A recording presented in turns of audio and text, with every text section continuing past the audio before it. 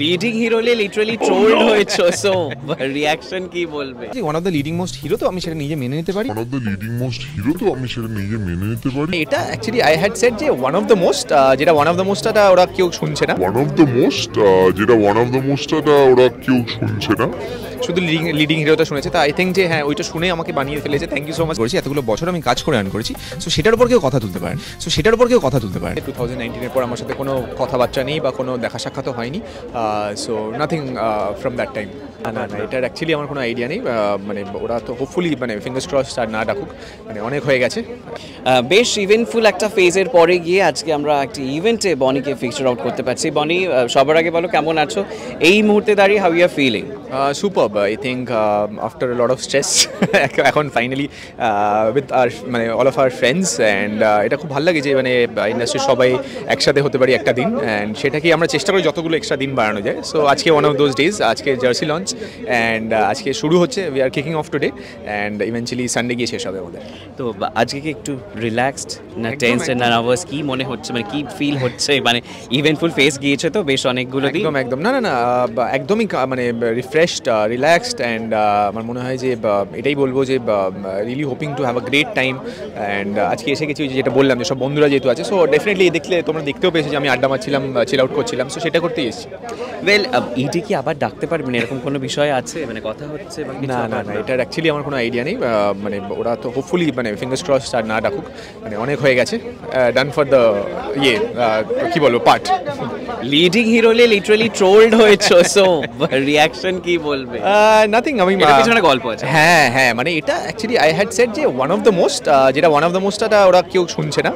শুধু লিডিং হিরোটা শুনেছে। তা আই থিঙ্ক যে হ্যাঁ ওইটা শুনে আমাকে বানিয়ে ফেলেছে। থ্যাংক ইউ সো মাচ তোমরা, সকলে যারা বানিয়ে দিয়েছ আমাকে। ওয়ান অফ দ্য মোস্ট মানেই হয় যে, বা অনেক জনের মধ্যে একজন।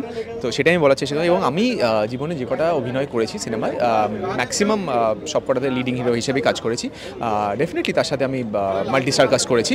তো সেটা হিসেবে যদি কিছু বলে থাকি, সেটা আমার মনে হয় না কিছু ভুল বলেছি। সেটাকে নিয়ে ট্রোল করতে চাইলে I don't have any issues দু হাজার চোদ্দ থেকে ট্রোল হয়েছি so this is nothing YouTube production হাউসের টাকা এক্স্যাক্টলি কত গেছে এটা কিন্তু বারংবার একটা প্রশ্ন উঠে আসছে কারণ যেহেতু তোমরা সবে সবে ছবি ছবিও মুক্তি দিয়েছো পেয়েছে তোমাদের প্রোডাকশন হাউস থেকে কি বলবে कुछ तो लोग कहेंगे लोगों का काम है कहना তো আচ্ছা। আহ, বলুক কোনো অসুবিধা নেই বাট দ্যার ইজ নো মানে ওই একবার দু হাজার সতেরো একটা ভুল হয়েছিল সেটাই আহ, শুধরে নিয়েছি এখন so that's it nothing else পারিশ্রমিক নিয়ে গাড়ি কেনা কিন্তু তাহলে টাকা ফেরত দেওয়া কেন কিছুই না, আমি যখন জানতে পারলাম যে ইট ইজ মানে সামথিং রং যেটা একটা ভুল হয়েছে আমার তরফ থেকে, যে একটা ভুল জায়গা থেকে টাকাটা এসেছে, তো আমি চাইছিলাম না সেই টাকাটা আমার কাছে থাকুক এবং সেটা আমি চেয়েছিলাম যে আমি ফেরত দিয়ে দিই। গাড়ি কেনা দেন একটা ইমেজ হিন্ড্রেন্স তো তুমি কি মনে করো ইটস লাইক ভিক্টিমাইজড হওয়া? অবভিয়াসলি মানে lot of people are saying যে, ওর এত ক্ষমতা কী করে হয়? আমি ক্ষমতাটা বানিয়েছি ইন্ডাস্ট্রিতে থেকেই এবং ইন্ডাস্ট্রির লোক সেই সাপোর্টটা দিয়েছে বলেই আজকে হয়েছে এবং প্রচুর এরকম ইন্ডাস্ট্রির লোকে বলছে যারা হয়তো কাজ করছেন আজকের দিনে। It's okay I can understand their pain but it's okay your pain it's my gain কুন্তলের সাথে পার্সোনালি এখন আর যোগাযোগ রয়েছে বা পার্টিতে যখন গেছো, টলিউডের কাউকে তুমি দেখেছ সেখানে সেই সব পার্টিতে না না না না আই হ্যাভেন্ট আমি এটাও বারবার বলেছি যে টু থাউজেন্ড নাইনটিনের পর আমার সাথে কোনো কথাবার্তা নেই বা কোনো দেখা সাক্ষাৎও হয়নি। So nothing from that time এই যে একটা ইভেন্টফুল ফেজ গেল তোমার লাইফে তো আমার জানা যে এই ফেজের পরে কি এখন হাতে থেকে কাছে কিছু চলে যাচ্ছে বা এরকম কোনো কিছু? না না না থ্যাঙ্কফুলি যারা যারা যারা আমার সাথে কাজ করছিল যাদের সাথে আমার ডেটগুলো দেওয়া ছিল আমি জাস্ট দুটো সপ্তাহ পিছিয়েছি দ্যাটস ইট তারা have they have always supported me and they have set যে আর যাই হয়ে যাক না কেন আমরা কোনো চেঞ্জ করব না। Will go head with you only and আমরা তোমার সাথেই সিনেমাটা করব। আর যখন তুমি ইডির এতে যখন যা- ডাকা হচ্ছিল অ্যান্ড তখন তুমি বাড়ি থাকতে না কোথায় থাকতে এক্স্যাক্টলি হ্যাঁ ওটা ওটা এটা সিক্রেট প্লেস ওটা আমি বলা যাবে না। আচ্ছা শুটিং কবে থেকে চালু হয়েছে? কবে আবার সেই আমরা চেনা বনিকে দেখতে পাবো?